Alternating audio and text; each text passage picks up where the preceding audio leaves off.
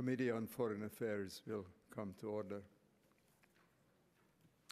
This is our second hearing on Iran in a series of hearings during the course of which we will combine practical political decision makers in the field, uh, as we had uh, last week with uh, former Undersecretary of State uh, Pickering and uh, former Director of the CIA, James Woolsey. Today, we are fortunate to have two outstanding academicians who have made the study of Iran the central focus of their scholarly pursuit, and we are delighted to welcome them. Having just returned from a trip to the Middle East with uh, Speaker Pelosi and the Democratic National Security leadership, it is clear to me that Iran and its nuclear ambitions are central to our interests and concerns in this vital region. The intentions and possible future actions of Iran are very much on the minds of top leaders in Iraq, Pakistan, and Afghanistan with whom we met. They shared their great concern regarding Iran's growing influence in the area and what everyone believes to be its quest for nuclear weapons. A world with a nuclear armed Iran would be a very different world. It would be a world in which Tehran, without firing a shot, would be able to intimidate and bully its neighbors, including many who today are allies of the United States. It is clear that Iran's neighbors know this, and for the most part, they're terrified by the prospect. We must know all we can about Iran's capabilities and intentions because we must prevent the development of a nuclear armed Iran. At the same time, we must act very carefully in this sensitive and important region, which, are, which is already in deep upheaval because of our Iraq policy. Iran is growing increasingly arrogant about its ability to act with impunity. Last June, the permanent five members of the United Nations Security Council and Germany offered a very generous package of incentives to Tehran to suspend its nuclear program. Iran merely shrugged it off. In July, the Security Council issued an ultimatum to Tehran suspend your uranium enrichment activities within one month or face sanctions. Iran blithely ignored that threat as well and continued with enrichment. Nothing that happened subsequently shook Tehran's faith in its ability to continue its cynical kabuki dance. Russia and China raised one roadblock after another. The Security Council failed to impose sanctions within one month or even two. Instead, it wrangled for five long months before producing a pathetic set of sanctions that will do little or nothing to deter Iran's reckless pursuit of nuclear arms. Meanwhile, the Chinese and the Iranians announced a preliminary agreement worth some $16 billion for Chinese investment in an Iranian natural gas field. On Monday of this week, Royal Dutch Shell announced the signing of a preliminary multi billion dollar deal with Iran to develop adjacent gas properties. The recently announced $16 billion oil and gas deal between Iran and Malaysia is equally abhorrent. That is why today I'm sending a letter to our trade representative, Susan Schwab, requesting that all negotiations between the United States and Malaysia on a free trade agreement be suspended until Malaysia renounces this proposed deal. At a time when we and the United Nations should be imposing sanctions upon Iran for its nuclear activities, Asian and European companies are signing lucrative contracts to provide massive additional revenues to fuel Iran's search for nuclear weapons. If we permit this kind of heedless and mindless avarice, it will be at the world's peril. This past week, Mohammed El Baradei, the Director General of the International Atomic Energy Agency, revealed that within a few weeks, Iran intends to begin construction of a new underground plant for uranium enrichment.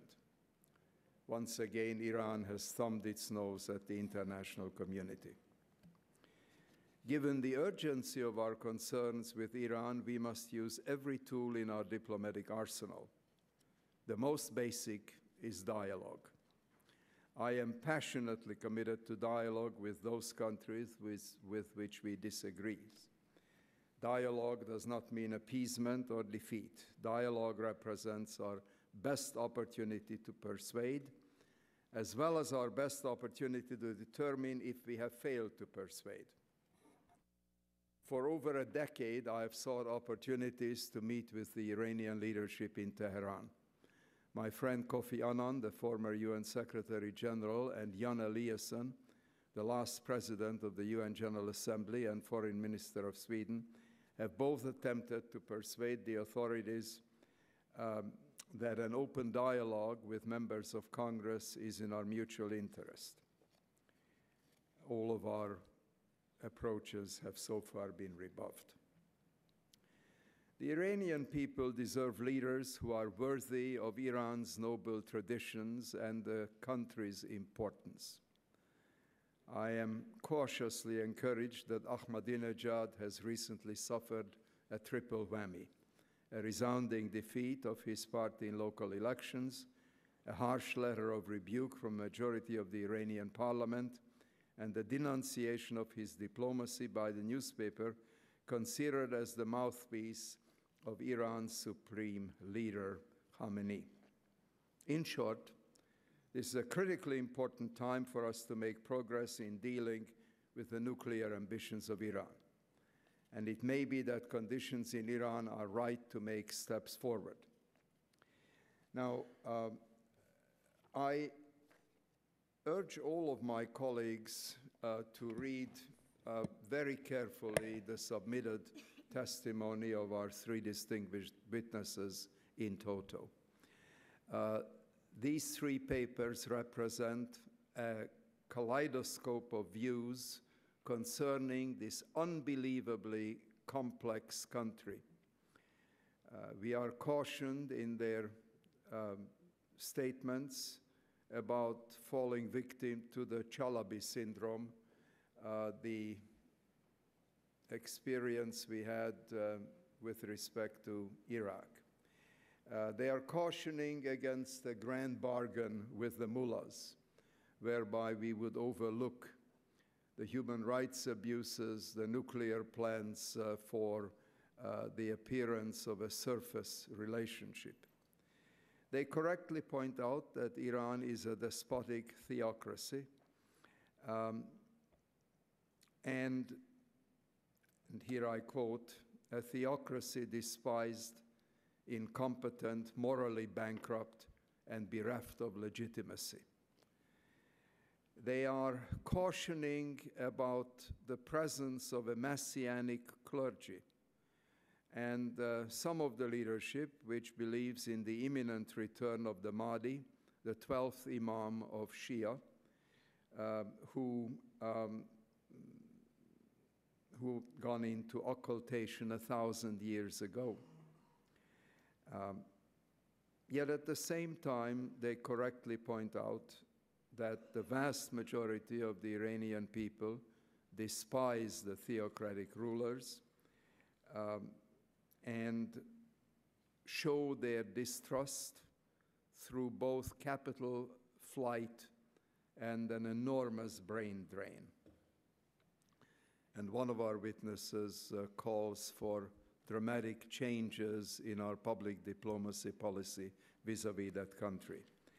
Uh, I, uh, I am deeply grateful for their three powerful papers, and I am now delighted to turn to uh, the distinguished chairman of the uh, subcommittee uh, who may have to leave because of votes in the banking committee, Mr. Ackerman.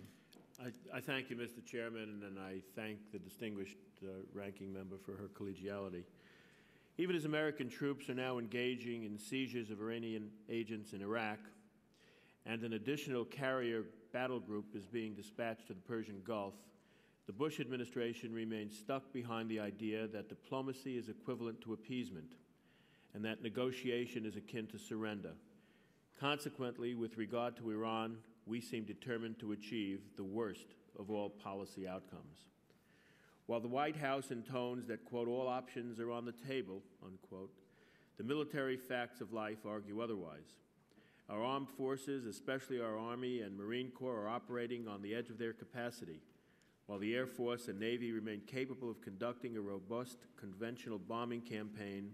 I remain skeptical that the key would, uh, would be able to strike all the key components of Iran's nuclear uh, program. Many facilities are extremely well protected, some are buried, others are hardened, and some have all of these features.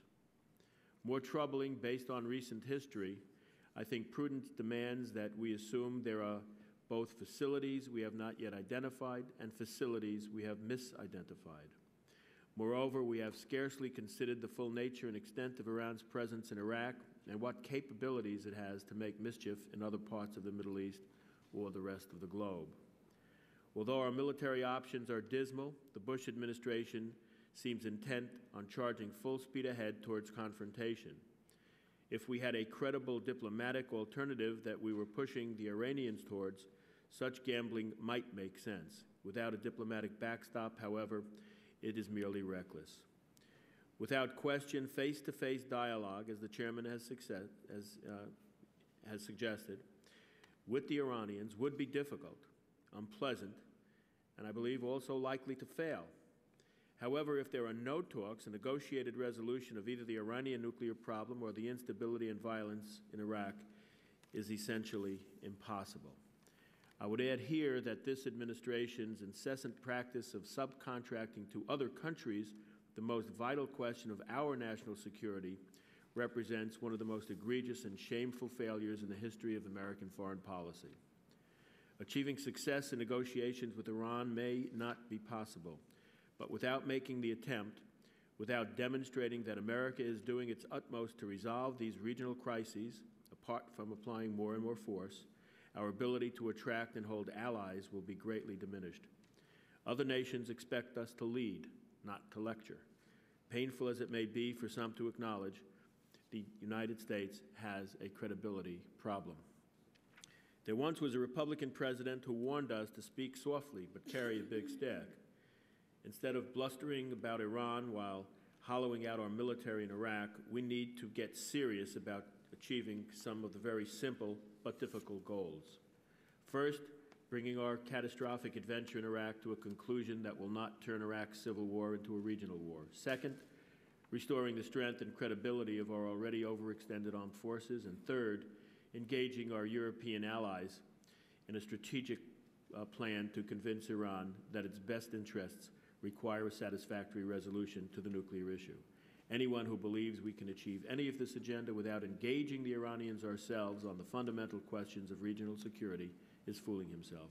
I hope today's panel will illustrate for us how Iran sees the world, where its vulnerabilities lie, and how we can best achieve security in the Persian Gulf region for ourselves and our allies and in and around the world. Thank you, Mr. Chairman. Thank you, Mr. Ackerman. It is now my great pleasure to turn to my good friend, the distinguished ranking member of the committee, Congresswoman Ros-Lehtinen. She is the author of the Iran Freedom Support Act, which Congress adopted last September. I was very pleased to work with her in developing that important legislation. She has been one of the foremost leaders in the Congress in our effort to deal with Iran. Ms. Thank you so much, Mr. Lantos, and I congratulate you on the, the trip that uh, you took, uh, just came back yesterday with uh, Speaker Pelosi and the uh, Chairman, uh, Chairman Skelton and Mr. Murtha and, and others, and uh, we in our committee look forward to getting uh, briefed by you on, uh, on that trip and to uh, Iraq, to Pakistan and Afghanistan. And I'd like to also thank our distinguished panelists for appearing before us today. Creating an effective, long-term strategy regarding Iran is one of the highest priorities in the United States. The regime has called, as all of us know, for Israel to be wiped off the map. It continues to refer to the United States as the Great Satan, and it uh, hosted a conference uh, that was so appalling, aimed at denying the Holocaust. Iran's aggressive words, however, are not mere rhetoric. Iran is the number one state sponsor of terrorism, enabling the murder of countless innocent civilians, endangering international security by supplying weapons, funding, training, and sanctuary to terrorist groups such as Hezbollah and Hamas. Iran continues to supply the Shiite Islamist groups in Iraq with money, training, and weapons such as the improvised explosive devices, uh, IEDs, that are used to target U.S. coalition troops in Iraq.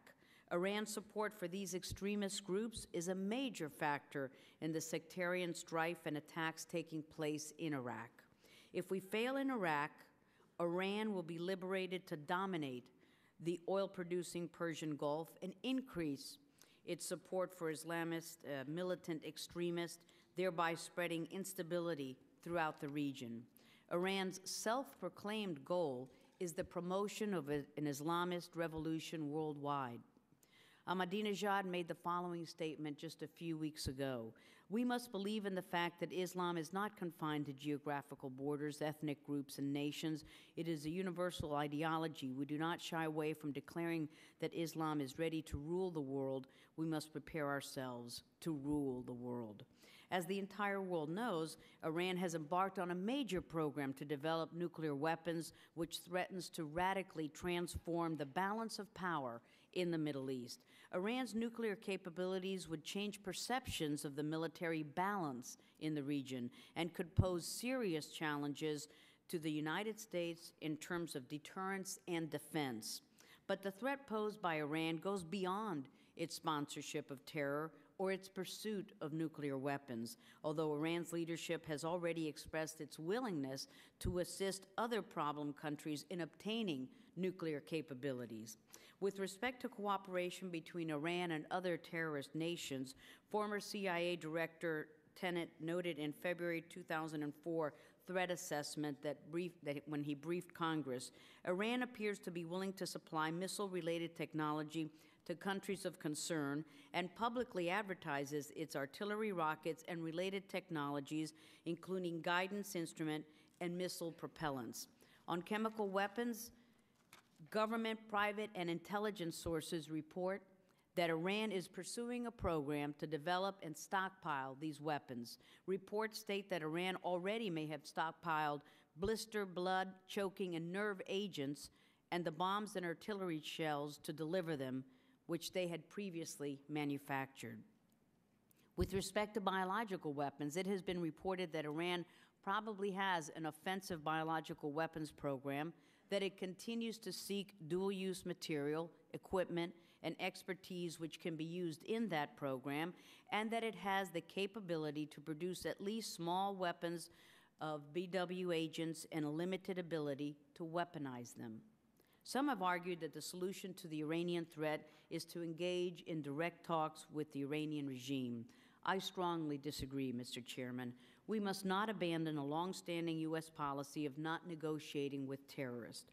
I believe that engaging Iran without preconditions would embolden our enemies, would legitimize the extremist regime, and would allow the Iranian radicals to buy even more time to develop weapons of mass destruction. Instead, we can persuade our allies to reduce or even halt the range of commercial ties with the Iranian regime, we could deprive Tehran of the revenues it needs to continue its destructive policies. I call upon our European allies and all of the responsible nations to take immediate steps to end investments in Iran's energy sector and to adopt other sanctions to deprive the tyrannical regime of the revenue necessary to pursue their nuclear weapons program. As part of this effort, my distinguished colleague, Chairman Lantos, and I authored, as the chairman pointed out, the Iran Freedom Support Act, signed into law in November, and it's already being used to great effect. I also plan to introduce another bill that targets the Iranian elite, and a- which is a critical component of the Iranian economy, its energy sector. Among other provision, the bill calls for public and private pension and thrift saving plans to divest from U.S. and foreign companies that have invested $200 million or more in that energy sector. I have been working with Chairman Lantos on this measure and hope that we will have an agreement soon so that we may introduce the bill. I look forward to working with my colleagues on both sides of the aisle to secure passage of this and other measures to weaken the regime in Tehran, compel it to permanently cease those activities that pose a threat to U.S. national security, our interests, and our allies. I'd like to thank once again our witnesses, and thank you so much, Mr. Chairman, for the time. Thank you very much. I'm pleased to recognize Mr. Payne for one minute. Thank you very much, Mr. Chairman. And uh, as we all know, this is a very extremely important hearing today. Uh, we realize the importance of our policy towards Iran and for us to try to come up with some solutions to that problem. So I look forward to hearing the witnesses. I, too, though, um, feel that negotiations and discussions are necessary. I think the people of Iran have a positive feeling towards the United States by and large. And if there was some way that we could uh, reach the people, uh, I think many of them really reject the hard line. And, and so before all is lost on, on aggressive military uh, movement, I would hope that we would have uh, some dual strategies. So thank you, Mr. Chairman. I'll yield back. Thank you. Thank you very much. I'm pleased to recognize the distinguished ranking member uh, of the Middle East and South Asia Subcommittee, my friend from Indiana, Mr. Pence. I, I thank the chairman uh, for yielding, and um, and I, and I want to commend the chairman for making this issue and this distinguished uh, panel and hearing a priority uh, for this uh, committee in the 110th Congress. Uh, like many on this panel, I believe that Iran uh, is the greatest diplomatic challenge facing the United States, and I'm, I'm anxious to hear and uh, have appreciated reading the testimony that's been submitted. Uh, President Bush's national security strategy from March 2006, I believe, correctly stated, and I quote, that we may face no greater challenge from a single country than from Iran. I believe this is a a destabilizing rogue state that, uh, that richly deserved the moniker axis of evil that it uh, was awarded during a State of the Union address years ago. Um, I, I, the issues that, that interest me the most about, about this panel have to do with um, the nature of the threat uh, and um, and the nature and, and uh, the wisdom of what leverage we might bring to confronting that threat. And uh, I, I hold to the view that uh, when uh, President Mahmoud Ahmadinejad called for Israel to be, quote, wiped off the map and described the Holocaust as a, quote, myth, uh, and, and has openly advocated resettling the population of Israel in Europe that uh, I hold the view that history teaches that when a tyrant speaks violence against his neighbor, the world is wise to take him at his word. And I am uh, I'm very interested in this expert panel's view of the intentions uh, of, uh, of President Ahmadinejad as well as the government. Secondly, I'm, I'm, I'm, I'm very interested in, in uh, recent revelations and news reports that suggest that, that Iran has been um, involved in providing technology to improvised explosive devices in Iraq and personnel.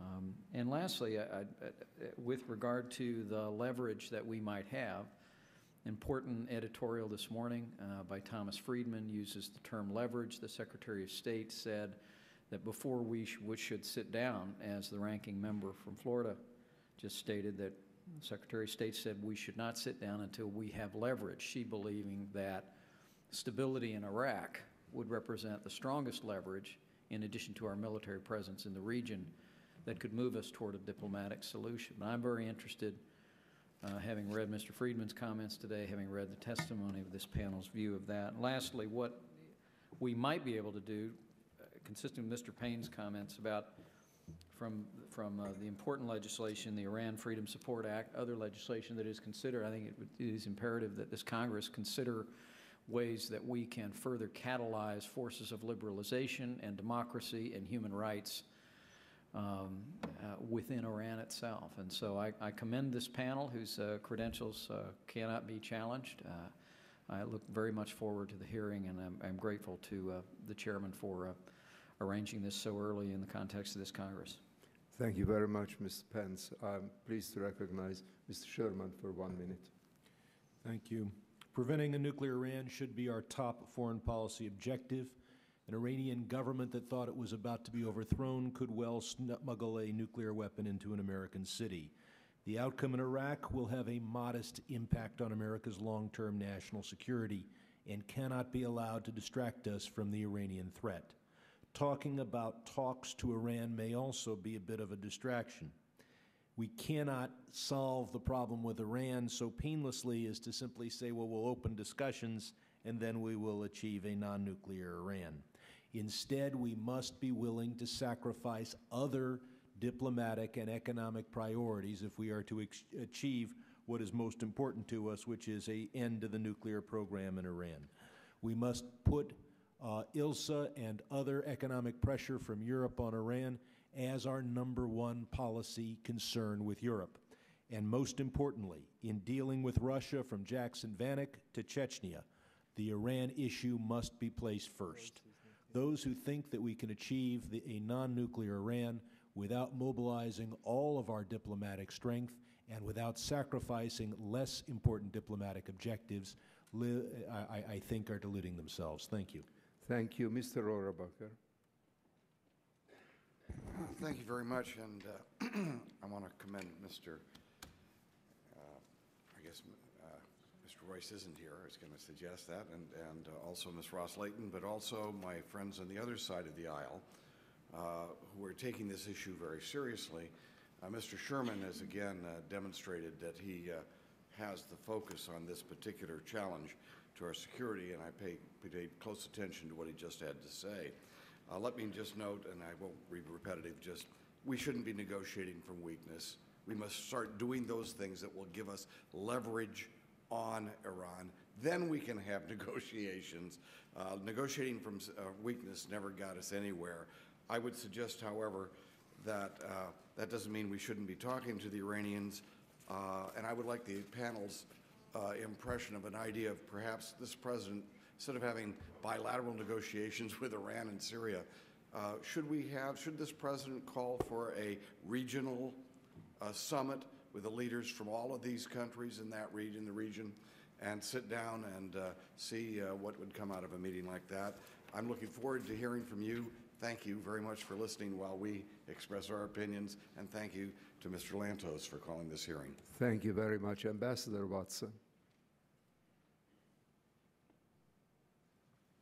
I want to thank the chairman also for bringing these distinguished gentlemen here. I think uh, dialogue is very much called for at this point. From what I'm gathering, a military success will do nothing, nothing to settle the cultural issues that are creating much of the conflict in Iraq. And it's been said that much of the violence is being instigated now by Iran. So I sense a creeping effect that we are creeping in closer to conflict with Iran. We have ships over in the water, we have submarines over off the coast. Anyone who doesn't know that has been from that place called Pluto. This creeping approach is very, very dangerous because I see what happened in Korea happening in Iran.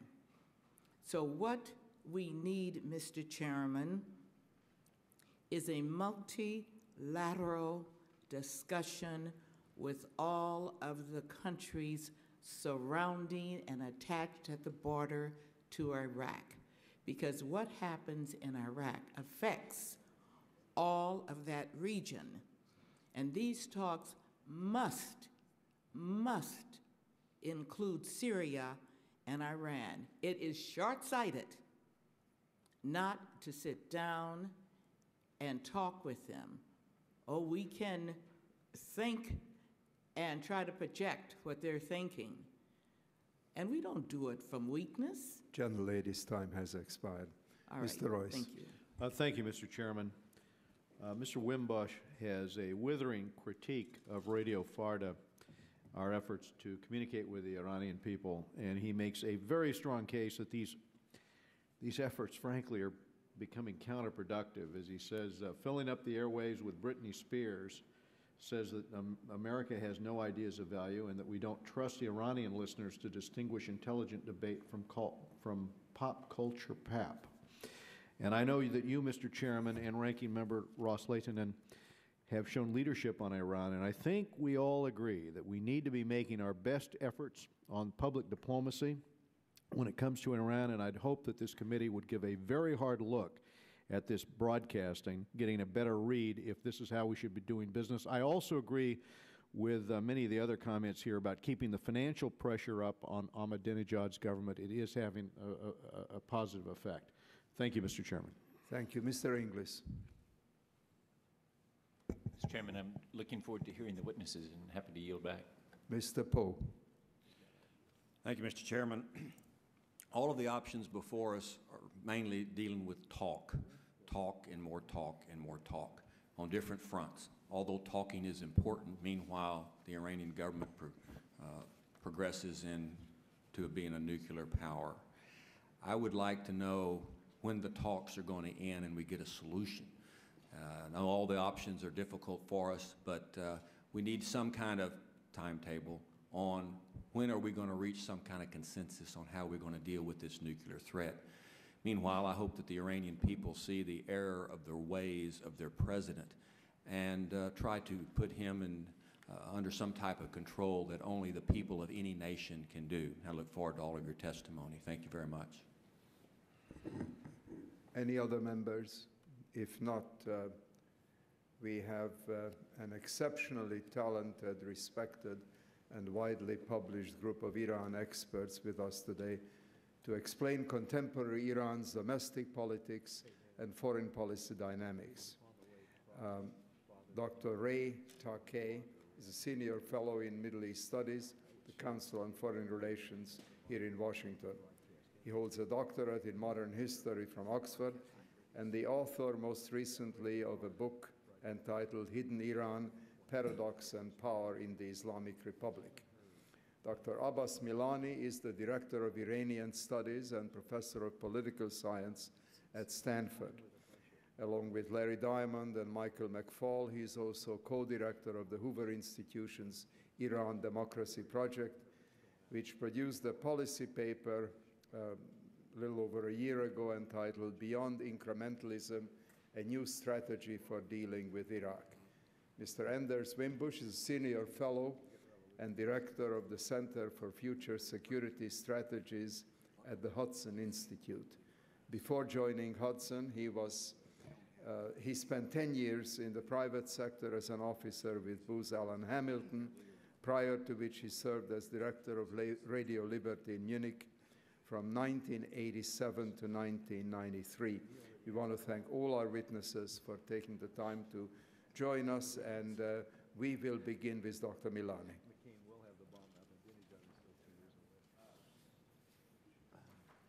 Thank you, Mr. Chairman. I'm very honored to be here. Uh, I think there is no doubt in anyone's mind that the United States does need to have a strategy for dealing with Iran. Iran is a key player in the Middle East, but I also think there is uh, little doubt that the United States, unfortunately, has not had a strategy in dealing with Iran for the last 25 years.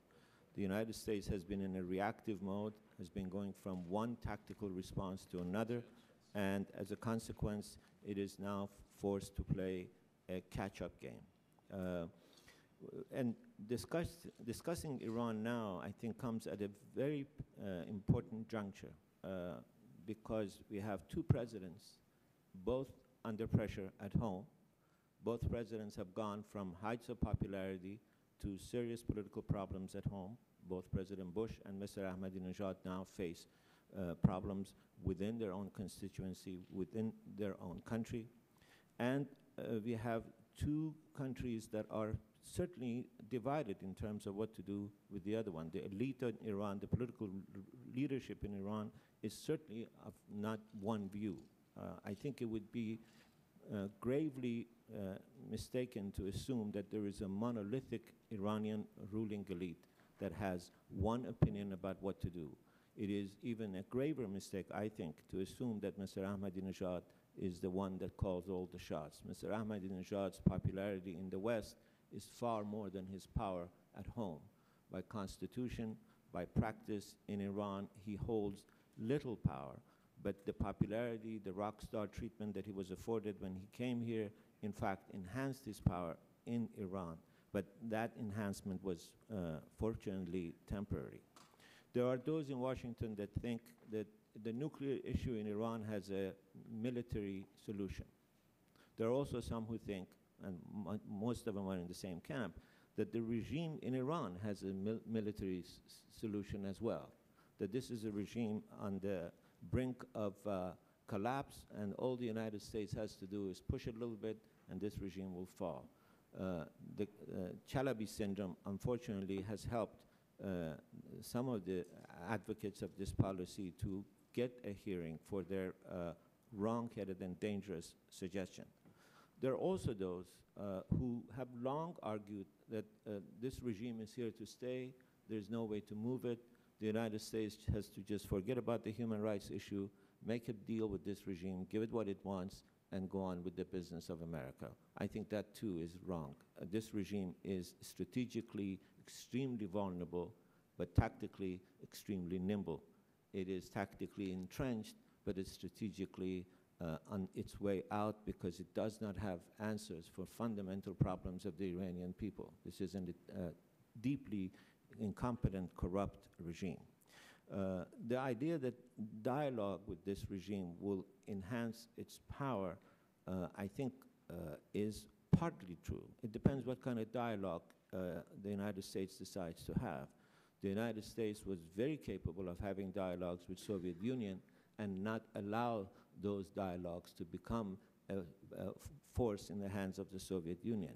The reason that that dialogue did not allow the Soviet Union to spin it in its own favor is because the issues of human rights were always on the table, never off the discussion. Uh, the grand bargainers who want to make peace with this regime want precisely that option off the table. They say if you bring this uh, issue uh, to the discussion, the Iranians will not show up. Well, my suggestion is that even if they don't show up, still the attempt to, the offer to have a dialogue will have very, very positive uh, impacts. It will have positive impacts because I think the Iranian regime is deeply fractured at this moment. Uh, Mr. Ahmadinejad has helped bring these fractures to a new uh, level of intensity. Uh, Ahmadinejad has come to power, I think it's important to understand, with the help of a, a, very powerful cabal of revolutionary guards and some of the leaders of the Basij.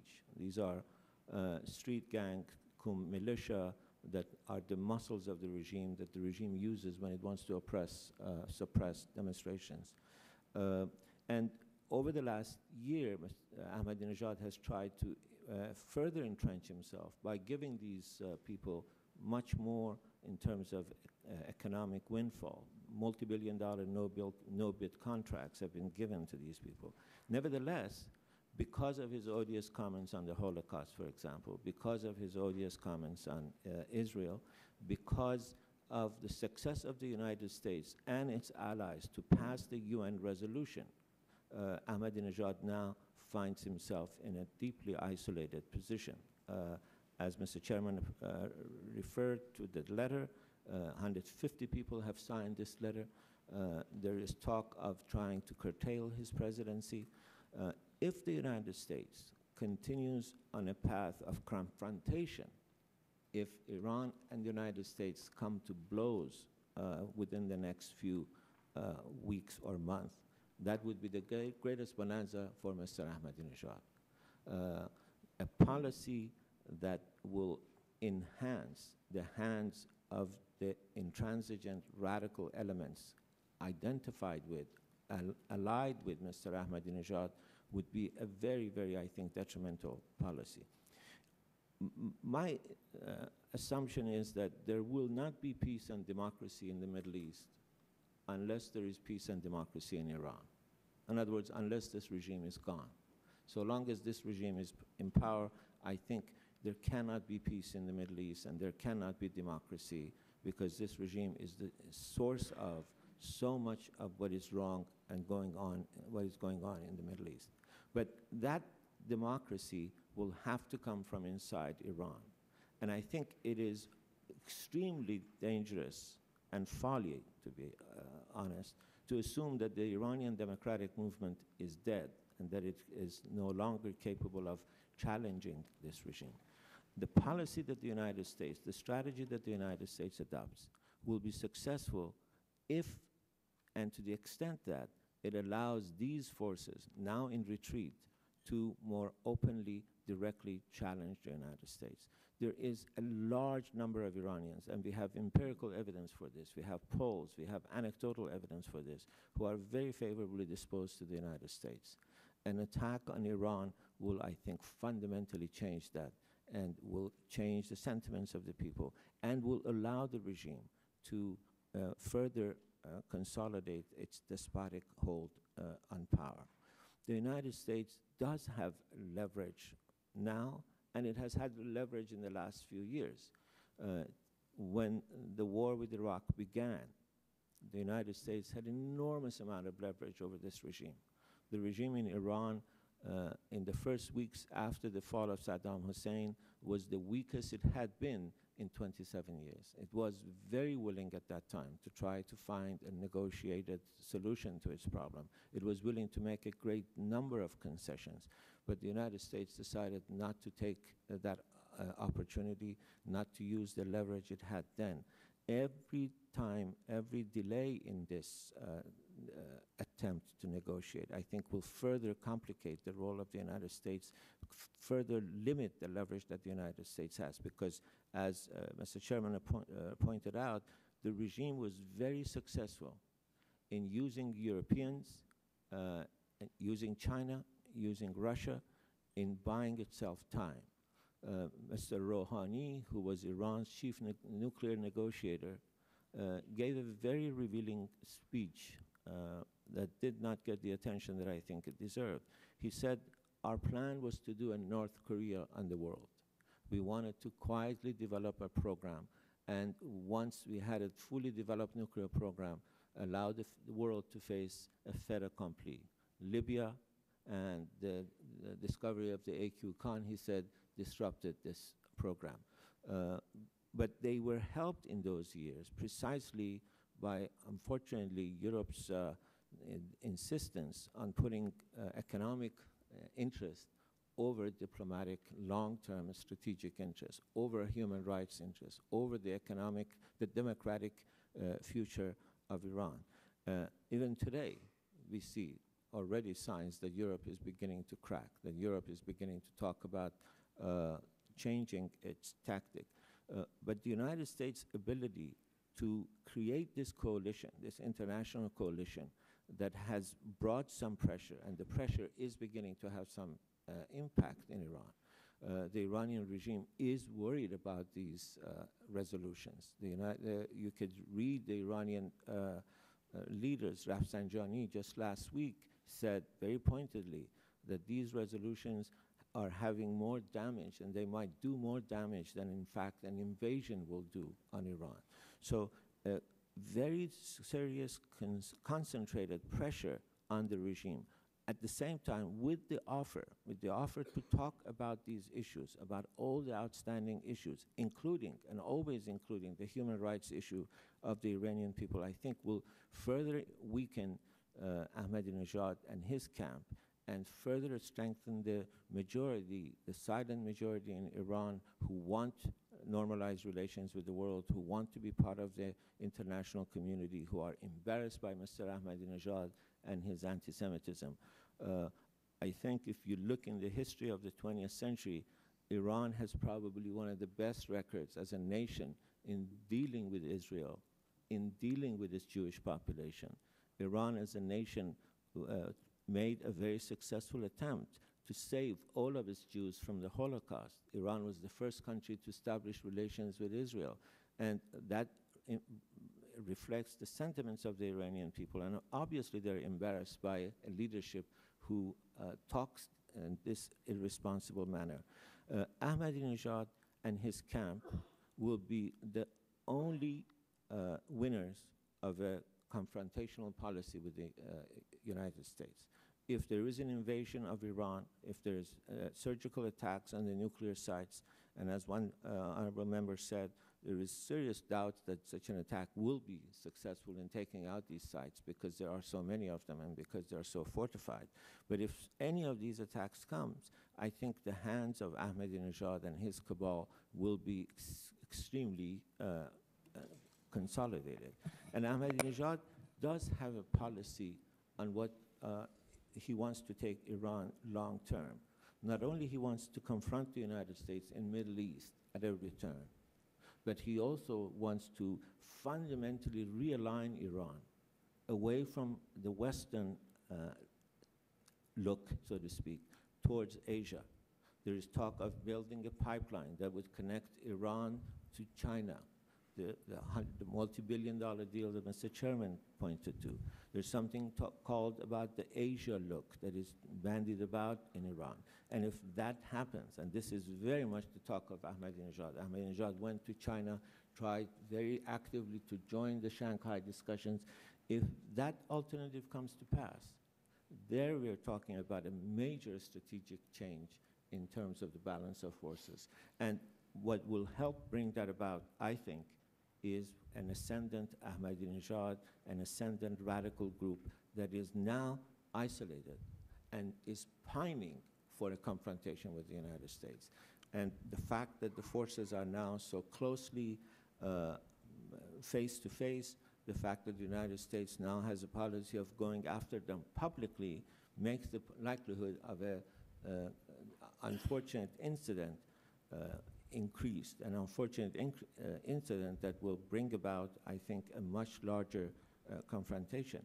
Uh, I, I, completely understand Mr. Bush's uh, uh, point that the Iranian network in Iraq has to be stopped. Obviously, the Iranian regime has to be stopped from its shenanigans in Iraq, but I think a much more fruitful policy would be to make this the responsibility of the Maliki government.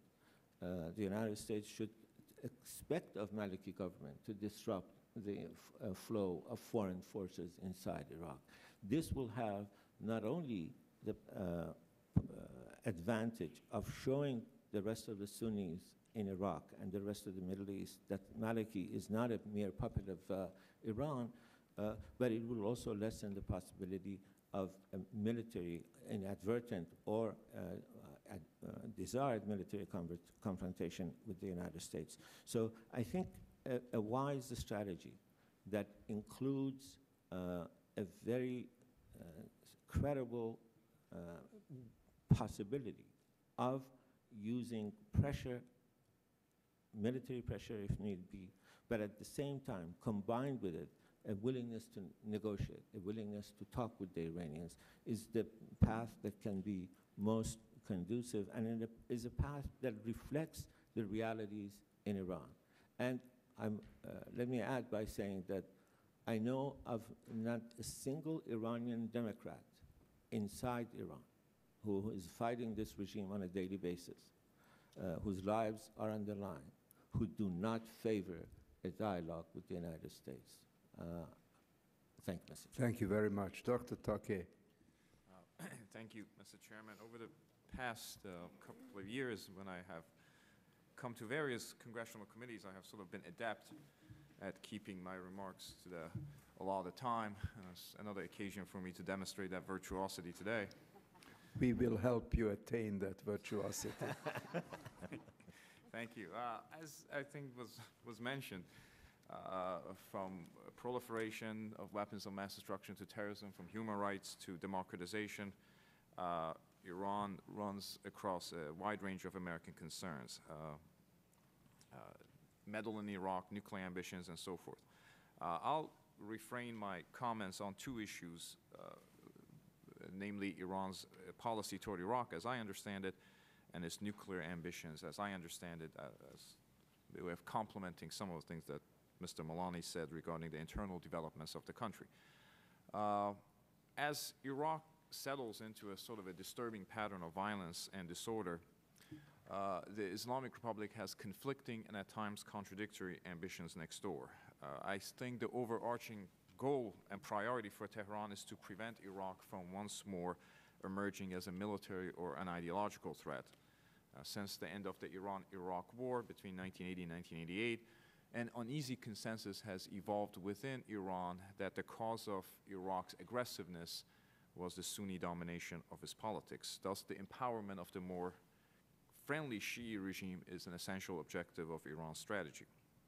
Given the fears of the spillover of the ongoing civil war and the fragmentation of the country, the Iranian leaders also seek uh, to maintain Iraq's territorial integrity. Finally, there is a menacing U.S. presence in Iraq, and contrary to many analysis, I don't believe that Iranians want Americans to stay and bleed in Iraq as a means of detracting them from attacking its own suspected nuclear facilities. I think at this point they want the Americans to leave uh, and uh, around a gradual timetable or what's, what have you, because they seem to feel that the beast has bled enough and whatever imperial ambitions Americans might have had has already been beaten out of them, so American presence is largely superfluous. Tehran appreciates that a stable Iraq, therefore, in many ways, is the best means of ending the American occupation. These competing objectives have yielded alternative tactics. Iran has been active in subsidizing its Shi'i allies, arming their militias, and agitating against the American presence, yet also call, call, and dispatching economic assistance and calls for stabilization of the country. I'm not quite certain if achievement of Iranian objectives are contingent on the insurgency or violence, but frankly, on the unfolding democratic process. In a strange paradox, the Iranian clerical hardliners, who, as Mr. Milani said, have done much to suppress the reform movement at home, have emerged as forceful advocates of democracy next door. Uh, indeed, a democratic Iran, Iraq offers Iran political and strategic advantages. It certainly will empower the Shi'i community, particularly at the time when that Shi'i community is largely represented by those with close associations and intimate ties with Iran. It will also yield an Iraq that is weak, with a weak central government and strong provinces, and such an Iraq is unlikely to contest Iran's emerging hegemony in the Gulf. In essence, a democratic Iraq will produce an arrangement that would empower the congenial Shi'i population, contain the unruly ambitions of the Kurds and marginalize Iran's Sunni foes. To some extent, actually, Iran's model of expressing its influence in Iraq is similar to the way Iranians behaved in Lebanon in the early 1980s, another multi-confessional society with a Shi'i population that was largely left out of spoils of power. Iran's strategy in Lebanon, as we know, was to dispatch financial and military assistance to its Shi'i allies as a means of winning hearts and minds, and also preparing that Shi'i community for a potential conflict. And from that particular strategic design, of course, Hezbollah was born. Iran today is, as in the past, seeking to mobilize and organize the diverse Shi'i communities, forces in Iraq, while not necessarily getting entangled in an altercation with the more powerful United States. That's a very difficult balancing act, as we have seen in the past couple of weeks. But our concerns with Iran, of course, are not limited to Iraq, and I'll briefly uh, touch on the nuclear issue, which is sort of like quicksand. Every time you think you understand it, it changes. Uh, first of all, the notion of a debate, disagreement, and dissent within the Islamic Republic's corridors of power is not necessarily new. I mean, some of the disagreements and editorials and so forth are being presented as fracturing the Iranian political system, the Islamic Republic has been fractured since 1979. Uh, factionalism, competing centers of power is just the way this country behaves. Um, however, today I believe beyond the evidence of fracturing, there is a consensus that has evolved within the regime, namely that Iran should have an advanced nuclear capability with rather sophisticated infrastructure. That will offer it an opportunity to cross the nuclear threshold should it make that decision when it reaches that point. Whether Iran will remain satisfied with presumed capability short of actual breakout, as India did prior to 1997, will depend on a range of domestic, international, and regional developments. Uh, certainly, Iran's nuclear ambitions, which predated the rise of President Ahmadinejad, go back to the times of the 1970s. Nevertheless, they have been hardened as we begin to see the rise of a war generation coming to power. And the defining experience for the many of the younger conservatives is not necessarily the revolution itself, but the Iran-Iraq war. The international indifference to Saddam's war crimes, Tehran's lack of effective response to Iraq's employment of chemical weapons has led the war generation to perceive that the security of their country has to be predicated on what they do as opposed to global opinion and international treaties. That legacy of the war reinforces a nationalist narrative that sees America's demand for relinquishing of Iran's fuel cycle, an implied right, at least under the NPT, as historically unjust. This is a country that has been historically subject to foreign intervention and imposition of various capitulation treaties. Therefore, it is inordinately sensitive of its national prerogatives and perceived sovereign rights. Iran's rulers today perceive that they are being challenged not because of their provocation or treaty violations, but because of superpower bullying. So in a rather peculiar manner, the nuclear program and Iran's national identity have become fused in the imagination of the hardliners. Thus, the notion of compromise and acquiescence has rather limited utility to Iran's aggrieved nationalists. Uh, despite their bitterness and cynicism, the Iran's theocratic hardliners are also eternal optimists when it comes to the assumption of the international community and its power. Many conservatives often say that Iran will follow the model of India or Pakistan, namely after initial imposition of sanctions and international outcry will soon be followed by acceptance of its new status. Thus, Tehran would regain its commercial status, which may be lost, commercial treaties, which may be suspended, while maintaining its nuclear program as well. That right uh, and the notion that Iran's mischievous past and its tense relationship with the United States will somewhat militate against international community's acceptance of its nuclear status is lost upon them. However, should that anticipation prove misguided, they are willing to suffer the consequences to some extent of their conduct. So what is to be done is a question that's often posed and it's never answered satisfactorily. It's not going to be answered satisfactorily now. Uh, it's a rather curious proposition to me for those who suggest that American containment policy has succeeded and should continue, while at the same time suggesting that Iran's behavior on nuclear issue, terrorism, human rights, regional activities is becoming worse. Well, if the containment policy has succeeded, it obviously hasn't succeeded on those issues. Uh, with a policy of dialogue, engagement, work, I don't think there's an alternative to it. Uh, it's not going to be easy to negotiate with the Iranian government when it feels itself as empowered and United States is at a position of strategic disadvantage that it is today. Twice, Secretary Rice and Secretary Gates have suggested that if we negotiate with Iran today, we do so from as a position of a supplicant. A remarkable statement to be made by the Secretary of Defense and Secretary of State of a country that routinely calls itself a superpower. Uh, where if we're supplicant, we're not a superpower. Uh, and before that, in another context, uh, National Security Advisor Hadley said in New York Times that we cannot impose red lines on North Korea because they keep violating them. That's how far we have been debilitated, demoralized, demystified by Iraq, then we should go one step further and relinquish our status as the superpower and uh, what Madeleine Albright in another time used to call the indispensable power, because obviously we have become rather indispensable by the acknowledgments of the administration itself.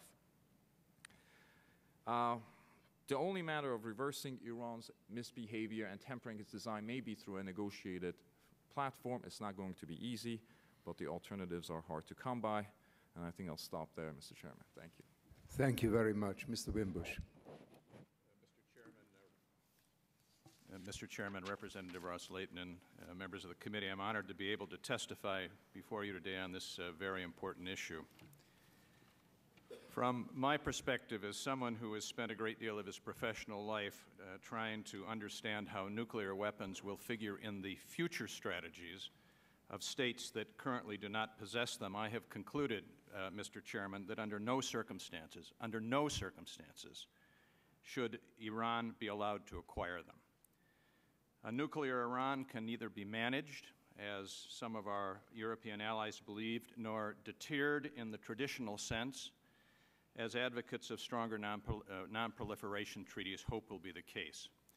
As you noted, Mr. Chairman, Iran is fast building its position as the Middle East's political and military hegemon, a, a position which will be largely unchallengeable if it acquires nuclear, we- uh, nuclear weapons. A nuclear Iran will change all of the critical strategic dynamics of this volatile region in ways that threaten the interests of virtually everyone else. The outlines of some of these negative trends are already visible as other actors adjust their strategies to accommodate what increasingly appears to be the emerging reality of an unpredictable, unstable nuclear power.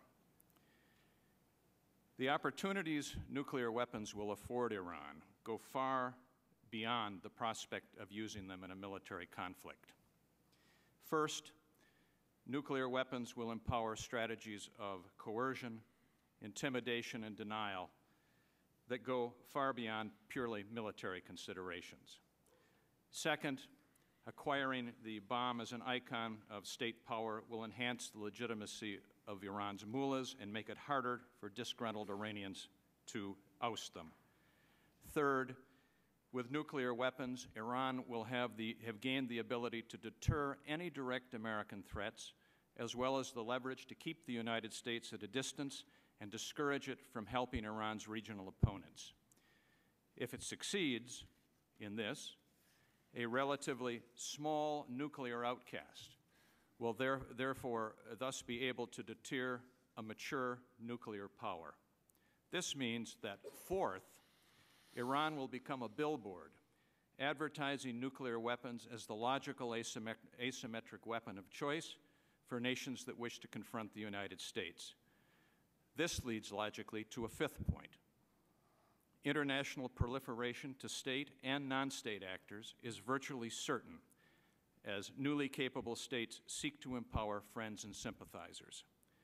Iran, with its well-known support of Hezbollah, is a particularly good candidate to proliferate nuclear capabilities beyond the control of any state as a way to extend the coercive reach of its own nuclear politics. The diffusion of nuclear know-how is on the verge of becoming impossible to impede anyway. Just yesterday, I listened to uh, former Senator Sam Nunn describe the chances of success of his nuclear threat initiative, which seeks to put barriers on the pathway to nuclear proliferation. And he described the chances of success as a three on a scale of 10 and getting worse. Finally, and sixth, small arsenals of just a few weapons will mean that nuclear use will become more likely as deterrence disappears. If it appears easy to destroy an adversary's nuclear weapons in a single blow, small, small arsenals will increase the incentive to strike first. But some nuclear actors will be less interested in deterrence than in using nuclear weapons to annihilate their enemies.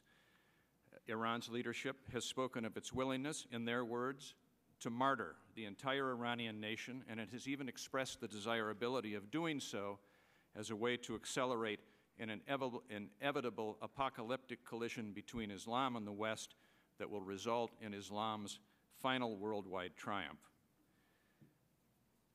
Iran's President Ahmadinejad is the poster child of this idea. He's the product of the most reactionary parts of Iran's clerical regime, the support structures and security, intelligence, and the, and the paramilitary vigilante Basij forces and their hardline Islamic mentors. The zealots he represents and their views are more extreme in virtually all respects than those of the regime's house clerics. According to them, the inevitable clash between Islam and the West, as you noted, will accelerate the appearance of the hidden Imam, also known as the Imam Mahdi, the messianic core of Shia Islam.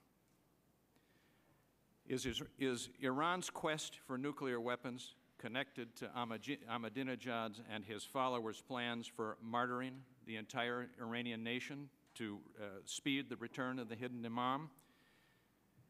I think we should be clear, Mr. Chairman, that we have no idea, no idea how to deter an ideological actor who might seek to annihilate others and then to be annihilated himself gloriously in return.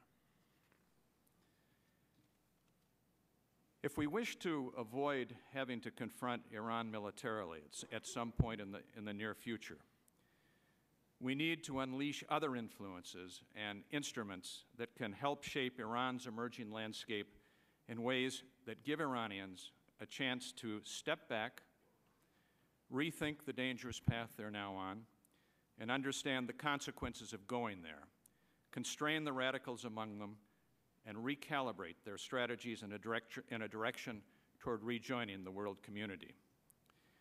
I strongly believe, and I uh, echo uh, Dr. Milani on this, I strongly believe that this is possible by going directly to Iran's people, especially to its young educated men and women, its intellectuals, its labor unions, and its business communities, and its other key agents of change. Yet, while these diverse groups have, uh, uh, may share visions of pushing the ruling mullahs into retirement, to date, little critical mass has developed amongst them that might eventually coalesce to make this happen. During the Cold War, as you know, we faced similar challenges in Eastern Europe and the former Soviet Union, where unconventional ideas and intense debate were considered, considered offenses against the state. Into this void of ideas, we directed America's powerful international broadcasting stations, especially Radio Free Europe and Radio Liberty, now acknowledged by virtually everyone as perhaps the most important influences in shaping and accelerating change in the East. Iran is easily as resonant a milieu for idea induced change as, say, Poland or Russia, and perhaps more so. But unfortunately, both the war of ideas and the instruments that gave them life have been largely ignored by this administration.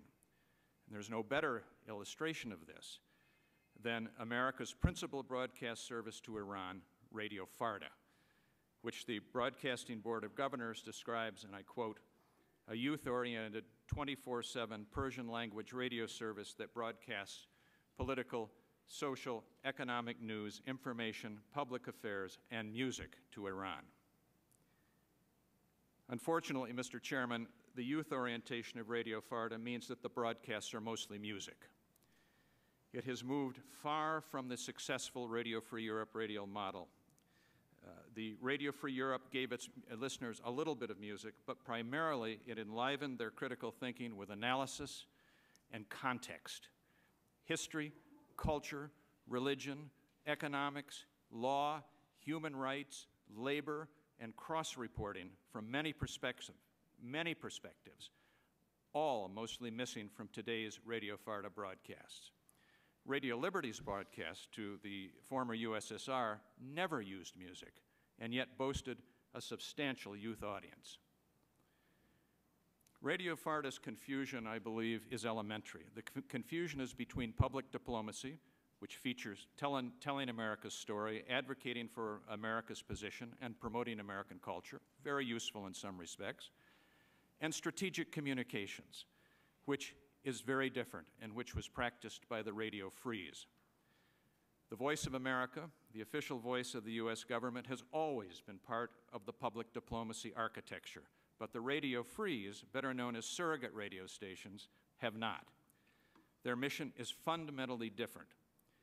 While public diplomacy is all about us, the surrogate radios is all about them.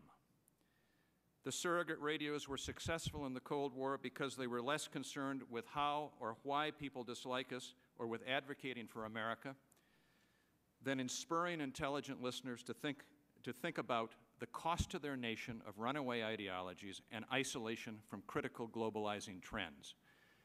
They were intended to stir debate within societies like Iran in ways that weaken the ability of oppressive regimes to monopol- monopolize information and ideas and hence power. What eventually became Radio Farda was created for exactly this purpose. In the unadopted Radio Free Iran Act of 1995, Congress called for additional broadcasts to further open the communications of accurate information, in their words, about Iran to the people of Iran. The language of the bill is crystal clear in its intent to create a new surrogate broadcast ent entity. In 1998, Congress appropriated $4 million to fund Radio Free Iran to be run by Radio Free Europe, Radio Liberty, the nation's premier surrogate broadcaster. At no point did Congress envision or approve creating another public diplomacy instrument that focused on America and pumped out popular music. In the beginning, this worked well. Radio Free Iran, rena renamed Radio Azadi, was run as a real surrogate station in 2002. It was an effective operation. By 2002, after four years of operation, Azadi had become the most popular foreign broadcaster to Iran, outpacing the better-known Voice of America and the BBC in the size of its elite audience. And anecdotal evidence that we have uh, from this period uh, suggests, uh, incidentally, uh, that even current uh, President Ahmadinejad was a regular listener, reminiscent of the success of RFERL in drawing most of the critical elites in their broadcast areas during the Cold War. We didn't do very well with Ahmadinejad, did yeah, we did not very well with him.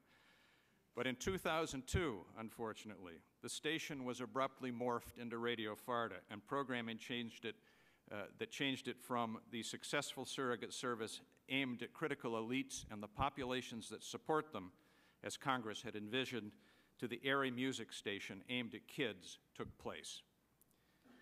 Today, what passes for broadcast strategy at Radio Farda features an indiscriminate, audience maximizing formula that measures success by the number of listeners who tune in, not by the quality of those listeners or by the critical positions and influence and authority they occupy. If that metric had been applied to Radio Liberty, it would have been abolished before it came into its own in the early in the 1970s, becoming a powerful instrument of change. This dumbing down, dumbing down respects the needs and intelligence of neither the traditional agents of change nor the critical younger audiences, especially Iran's powerful student movement. In Farda's defense, its managers insist that without music, Iranians will, turn, will tune uh, Radio Farda out because it will cease to be, in their words, believable. As you know, Mr. Chairman, credibility is indeed the currency of strategic communications, which is why substituting music for powerful ideas is so confused. Any sentient Iranian can see that it's the music that lacks credibility. It's a trick, it's a gimmick.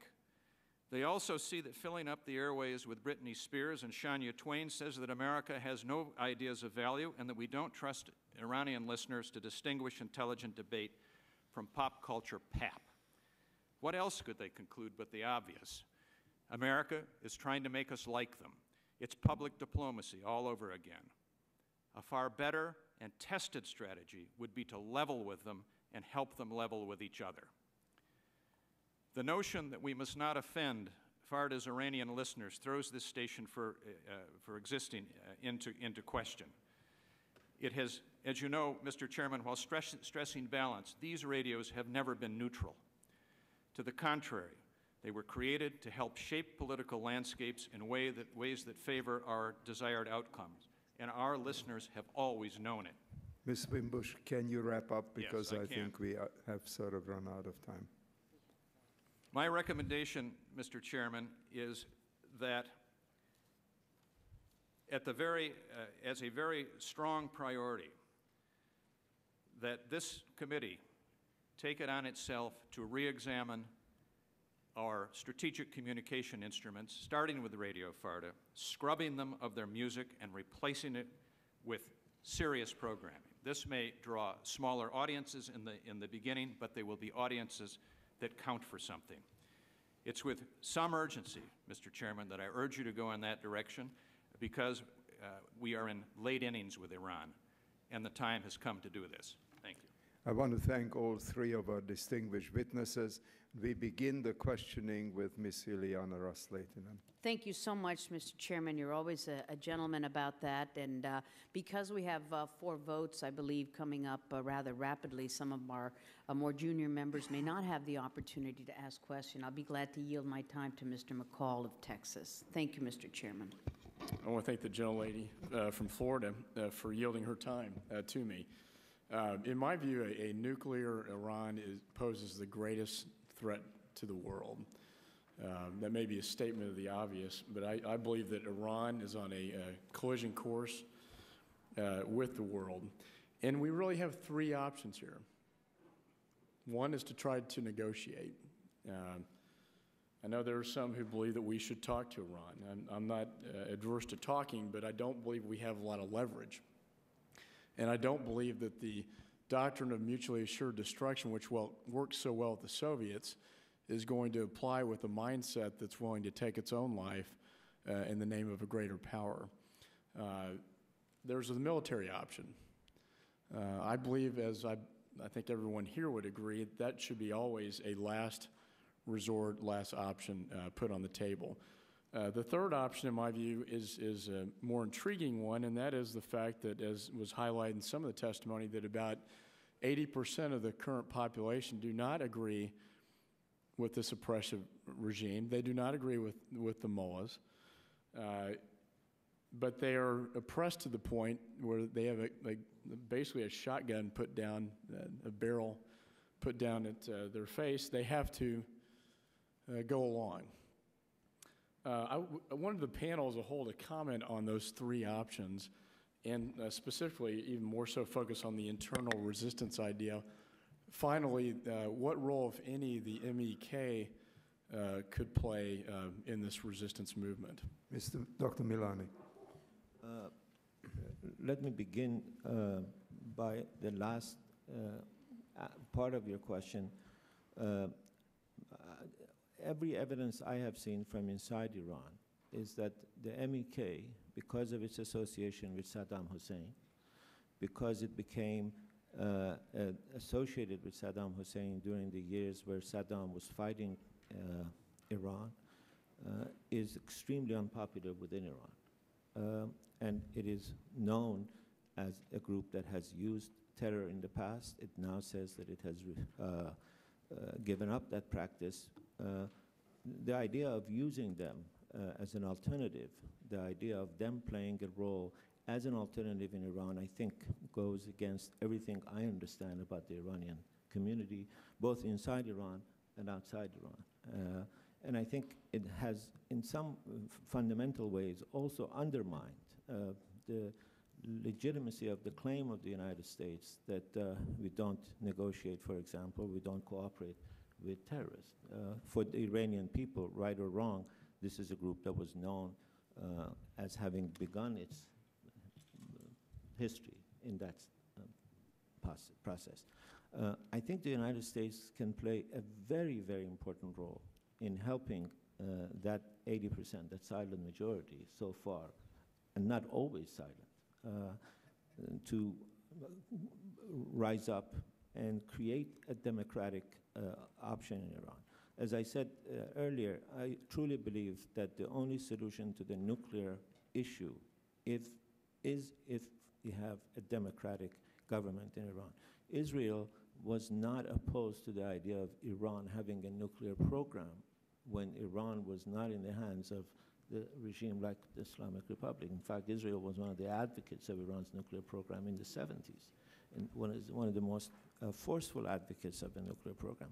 We have to bring Iran back to a kind of a state where the world does not uh, fear that if they get their hands on a, any kind of a nuclear uh, uh weapons, for example, that they will not give it to uh, terrorists. I don't believe that this uh, leadership, as an entirety, is the kind of leadership that wants to commit suicide that is going to be willing to die. Most of this leadership, in fact, has become deeply corrupt. They're become renters. Uh, Mr. Rafsanjani is one of the richest men in Iran right now. The rest of the clergy, because of their corrupt practices, have become owners of this society uh, in ways, in terms of the corruption, that I think far exceeds anything Iran has seen in the past. They want to continue collecting their share of this big loot. This is a $50 billion loot that is coming in. To me, this regime is truly like a mafia that has suddenly found itself in the control of a beat that is $50 billion. Now, there are Sunnis in the great tradition of the Godfather who want to threaten and go out and get more and are not willing to, are not afraid to die. But the rest of the Godfathers, they just want to continue uh, reaping these benefits. That doesn't mean that they're not dangerous. That doesn't mean that the world should not try to uh, help the Iranians change this government. That, I think, is the only strategic solution to this problem. Every aspect, uh, every problem in the Middle East, I think, can be solved uh, with this. And I think uh, the, that movement, that democratic movement within Iran, is far more potentially viable than we give it credit for. Uh, it is now dispirited, it is disheartened. Mr. Khatami played a very, very uh, negative role in making it lose faith, but I think this is a movement that is 100 years old. The Iranian Democratic, you know, we are now celebrating the uh, centennial of the constitutional revolution. This is not something that has come overnight, and it's not something that is going to go away overnight because fundamentally, the only solution to Iran's economic problem, social problem, drug problem, of which all of these are serious problems. 10% of the population are addicted to opium or heroin in Iran. 10% of the entire population. These things can only be solved. The unemployment problem can only be solved if there is democracy in Iran. The infusion of capital that is required. Iran needs $600 billion to get its oil business back to 1975. Th that money is not going to come unless there is democracy in Iran. And the, the United States can help this democratic uh, potential become reality. Dr. Takeyh? just, just let's not.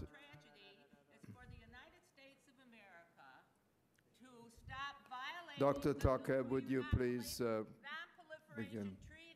We are the godfathers. We have more bombs than anybody. Just a second. no, no, let's go.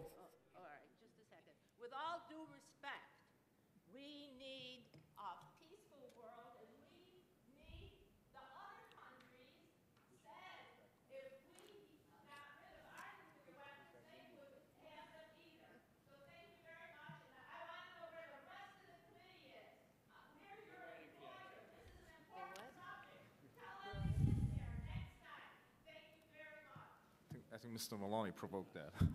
yes, yes.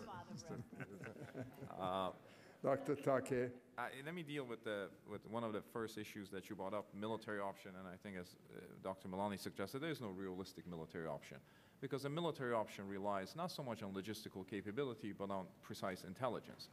And if I start the following sentence or, or by saying that the United States possesses detailed and accurate information regarding a Middle Eastern country's concealed nuclear weapon facilities. Uh, any paragraph, any chapter that begins with the phrase, according to U.S. intelligence, has to be treated with skepticism, if not outright derision. Uh, second of all, uh, you know, for the past four years at least, the United States has said, the president has said on rather routine basis, that at some point we may consider the military option. Uh, well, if I'm an Iranian strategic planner, uh, I'm taking the necessary steps in terms of dispersal, concealment, and so forth to ensure the survival of my program should those persistently alter, uh, advocated threats come to realization. Uh, so the mere invocation of military threat makes the actual military attack somewhat improbable in terms of its success. Uh, I mean, you know, they presumably know what we're talking about, uh, as, as they do, in fact so that's the military option. And let me deal with the notion of uh, whether or not the regime can be overthrown, uh, which I gather is the core of the evidence. uh, through a popular revolution. I think Iran has democratic sentiments, but I would disagree that it has an organized democratic or democratic movement uh, willing and capable of confronting the regime, especially uh, the way the regime is being depicted today. Messianic, suicidal, determined to blow itself and the universe, and the way you deal with it is radio broadcast. Uh, I think, frankly, Chairman, you should have a hearing on what precipitated the demise of the Soviet Union. Because often, people come to these hearings and others and suggest that it was the broadcast from the United States. I think it's a point Mr. Wimbush made. Uh, I, I, think we should actually test this proposition. You should actually have experts on what precipitated the demise of the Soviet Union, because frankly, it was an awfully complicated, flexible American containment policy that involved negotiation and deterrence at the same time. And it had to do with the inability of the Soviet elite at the end to rescue their own, their own state. There was a loss of will of the Soviet Union. But that's something that I think you should actually have so we can actually put this issue to rest. Uh, do radio broadcasts help? Sure. This is a country of 85% illiteracy rate. It knows what's wrong with this society. There's 24-hour radio broadcasts in Iran today. It's called BBC Persian Service. I mean, I don't know how that works. I'm Hamid. I live in Iran. I have four jobs. I make $150 a month. And, you know, I was living a blissful life. Then I heard Radio Farda say, hey, you know, Hamid, your life actually is not that great. And I said, well, that's what's wrong. Uh, so I'm going to get my two friends, Ali and Mohammed, and we're going to have a revolution. Uh, does it help to inform the society? Yes. Is it an ill-informed society? No. Uh, and I'm not quite sure. If Iran is all the things that the conservatives say it is, messianic, determined to blow itself up and universe, then they should have the courage of their conviction and actually advocate an invasion. Because then it is an existential threat. Uh, so I'm not quite sure if, the, if that particular waiting for revolution as a counter-proliferation strategy seems injudicious to me. If you believe that, you're wrong. If you believe that, you're ahistorical. Uh, it's a serious problem we face with Iran crossing successive nuclear demarcations with apparent impunity. I mean, this is a country that's going to have essentially an indigenous uranium enrichment capability in a very short time. Uh, you know, can negotiations help arrest that? Maybe. I'm not quite sure. Is there a military option? No. Is waiting for a popular revolution stimulated through radio broadcast and judicious strategy? I don't think so. Uh, are the type of sanctions that the administration is trying to impose on Iran, financial sanctions and so on, through indirect disinvestment from it, are those sanctions are going to have a cost on the Iranian economy? Indisputably so. But the problem with sanctions has never been that they don't have a cost. Is the cost sufficient to detract the regime from its contemplated policy objectives? And the record on that is indisputably clear. For 27 years is no. Uh, Mr. I'm sorry, Mr. Wimbush. Uh, yes, thank you, Mr. Chairman. It's, uh, it's seldom that I get a chance to say that I disagree with everything my predecessor has just said, uh, but I do. Uh, uh, apart from his, his oversimplification of my discussion of how the radios uh, were effective during the, during the Cold War, and suggesting that maybe we should study it again, it has been studied and studied. There have been many retrospectives on it, and I, I, I don't think that the, the jury's out on that anymore. What I'm suggesting, and this gets to Congressman McCaul's uh, question, uh, is that uh, one gets a sense uh, in Iran today, and I think this is, this is clear in uh, uh, Dr. Milani's larger testimony as well, that there are new dynamics at work, that there is movement in directions that we may not have seen before that we should be paying attention to. I'm reminded of the uh, the period shortly after 1987, 1988, when we began to see the same thing in the, in the, uh, uh, the Soviet Union and Eastern Europe with the advent of glasnost. All kinds of things began to happen. I am not in a position to characterize all those things. I think Dr. Milani and others like him can do that very well. But to miss encouraging that dynamic, as he has suggested, to me, is to miss uh, is to miss a, a, great opportunity. I think that there is every opportunity uh, to strengthen uh, forces of change uh, in uh, Iran that uh, ultimately will work out to our advantage. I'm not saying that we should be calling for regime change, but let's be honest. If you strengthen those forces, if you support those forces, what you're hoping for is eventually that the regime will disappear and you'll get something a little bit better.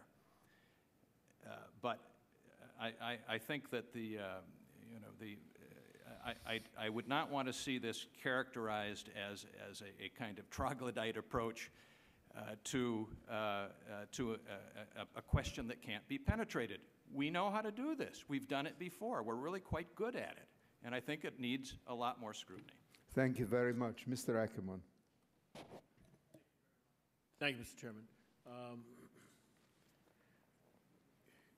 Without provoking an outburst uh, by using the word uh, Godfather, um, what, uh, what, what specifically can we do or should we be doing in specific to, uh, to drive a wedge into the fissure in the family? Maybe we can start with Dr. Milani. Yes. um, First of all, uh, let me uh, uh, make one small point very clear. I, I did not mean, and I, I think Dr. Takeyh knows that that's not what I mean, that uh, you have a radio broadcast and that somehow turns on the key and you have a democratic revolution in Iran. I was never uh, implying that. There is a vast movement, even many within the regime itself, have, who have come to recognize that the continuation of the status quo is not tenable. Uh, Saeed Hajjarian was one of the most important elements of this regime's intelligence agency. And Saeed Hajjarian was the architect of Khatami's reform movement because from within the intelligence agency, he began to recognize that the status quo is untenable. I suggest we go back and look at the elections that Mr. Uh, Rafs Ahmadinejad won. Every candidate, without fail, every candidate ran against the status quo, including Ahmadinejad. There wasn't a single candidate, including uh, Mr. Uh, Rafsanjani, who was the pillar of the status quo. He too ran against the status quo. So there's something fundamentally uh, rotten in the state of uh, Iran. And a correct policy, a judicious policy, exactly as you suggest, sir, will uh, throw, uh, will help these fissures, and will help these fissures in two ways: the fissures that exist between the Iranian people and this regime, and the fissures that exist within this regime. Militarism only consolidates the most radical intransigence and helps the tribe get together Rafsanjani, for example, when uh, the election he claimed was stolen from him, he said, I have secrets that I want to share, but we are in a state of war. I can't do it at this time. In other words, uh, I, if the United States uh, offers, for example, uh, the, uh, the chance for a negotiation, I'm not sure the Iranians would necessarily accept it. But the possibility of this reality coming to fruition will, I think, in itself create an enormous uh, tension within the regime. It will bring to surface many of these issues that are now in the background. Uh, it will potentially uh, encourage some of the people who You- have. You're saying offering to talk to them will divide them? Absolutely, it will. And Because there will have to be a serious debate within the administrative regime in Iran about doing this. And uh, uh, there is another point that uh, I want to uh, emphasize. The idea that this regime, the mullahs, are going for the uh, nuclear program because of their nationalism, I think misses an important point about these mullahs. Uh, the fundamental ideology of this uh, regime is that nationalism is a colonial uh, concept, that nationalism came because the West wanted to weaken the world. The mullahs want a nuclear program because they want to stay in power. Could, could we just ask Dr. Takeyh to respond? Yes, uh, uh, the idea of offering to negotiate will divide Iran. There is an American offer to negotiate with Iran. It was offered in May 2006 by Condoleezza Rice. There was a precondition to it, namely suspension of the enrichment activity for an interim period of time. And there was an Iranian counterproposal in August of 2006 when they accepted the offer of negotiations, but they wanted to do so on a broader basis and without the precondition. So Iranians have accepted negotiations with the United States. America has offered those negotiations. Now, whether you want to dispense with the precondition, if Secretary Rice comes here announces that we're going to negotiate without precondition, then those negotiations will take place. That Yes. may not be a judicious thing to do. Uh, we, we- Go ahead. we should insist on the precondition because otherwise negotiations could be a ruse for continuation of the nuclear program. But you know, we're beyond whether or not to negotiate with Iran. That's a consensus position from the left wing of the Democratic Party to the Bush Cheney administration. That's where we are. Uh, now, how do you create a more liberalized, tolerant Iranian regime?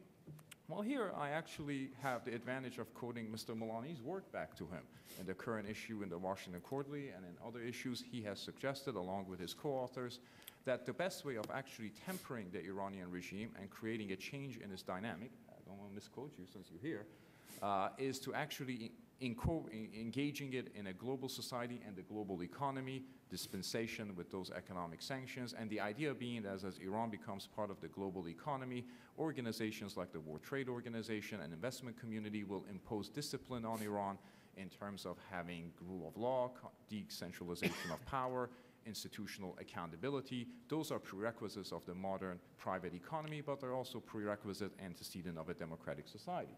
I hoping I didn't misinterpret what he said, because in essence, Mr. Milani has made a far-reaching argument for lifting of American economic sanctions and engagement with Iran.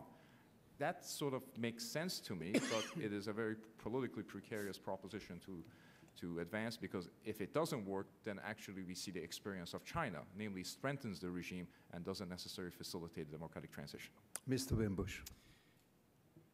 Uh, I think that uh, Congressman Sherman and Com- Congressman Rohrabacher had it about right. Uh, discussions, I think, are uh, certainly worthwhile. Negotiations are something else. Uh, it depends what you're negotiating for. And what I fear is that we will get into negotiations with the Iranians as a fig leaf for allowing them quietly to become a nuclear power. Uh, that to me is unacceptable. If you take the position that I've taken that that has to be, that has to be uh, stopped at, at all costs, uh, then it seems to me you treat the whole subject of negotiations very carefully. Uh, as much as uh, I would hate to do it, you keep a military option on the table. Uh, although one should be uh, under no illusions about the outcome. Uh, Dr. Milani, I think, is absolutely right. A military strike of any kind will strengthen the regime, at least in the short run, but it will, it will pull the nation together in ways that they currently are not pulled together. Uh, and so I think one wants to keep that very far in the background. I want to thank all three of our distinguished witnesses. This was a singularly illuminating hearing. The committee stands adjourned. In your evidence. Now we do it when you weren't here. that was it. Everything. But you did. So, Yeah, absolutely. Are you going back? Uh, I'm going back this afternoon. Wow, that must be nice to be back. Oh. Thank you very much. Thank you, Congress. Thank you, Chairman. Thank you. Thank you. Thank you very much. Excellent. Outstanding job. We'll see how that stands.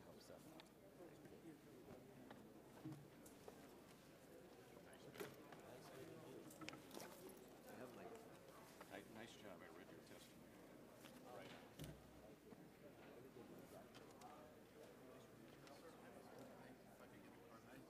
Sure. Yeah.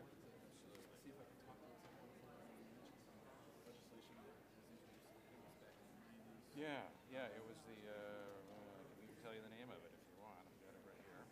I, I wrote about it at one point. Yeah, it was the Radio Free Iran Act of 1995. It was never adopted. Uh, it, it, I mean, there's a there's a whole. Uh, it was by it was it was Congress joint session. I think it was both both houses. Uh, it never it was never it was never totally adopted. It got morphed into something was, but uh, uh, I can give you a call or send you an email and get, get that information for you. I've got it. Yeah, sure. Yeah. I'd love to, yeah, We're missing a huge opportunity here. It's just enormous.